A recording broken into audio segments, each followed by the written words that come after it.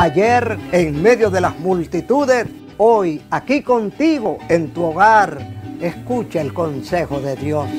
¡Gloria a Cristo! La vejez no es un castigo ni una enfermedad.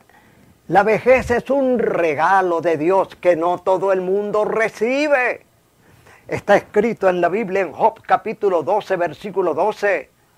En los ancianos está la ciencia y en la larga edad la inteligencia. No hemos quebrado, estamos disfrutando el descanso del guerrero. Mañana volverán las multitudes y serán diez veces mayores que antes.